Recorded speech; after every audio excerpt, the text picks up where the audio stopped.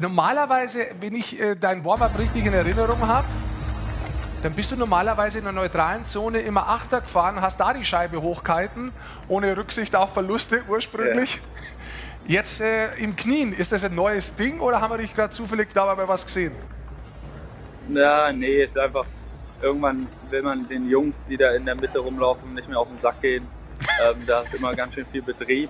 Zerstör gleich, glaube ich, das Studio. Achtung, das ist gar nicht so schlecht gewesen. Ja, gar nicht so schlecht, ne? Ja, es sah doch gut aus. Ne? Ja, ja, ja, das so ein bisschen Tennis-Touch ist das. Das hat aber mit dem Eishockey wenig ja. zu tun, gebe ich zu. Aber wir machen einfach mal aus deinem Habit, äh, machen wir einfach mal eine Challenge. Ähm, und zwar die Seider-Challenge. Und äh, da könnt ihr mitmachen, liebe Eishockey-Fans. Ähm, ja, postet einfach mal was, äh, wie ihr das machen würdet. Kann ein Eishockeyschläger sein, kann aber natürlich vielleicht auch irgendwas anderes Kreatives sein. Also Hashtag äh, Seider-Challenge, die Eishockey-Show auch als Hashtag. Und dann äh, gucken wir uns das an, was ihr so zutage fördert.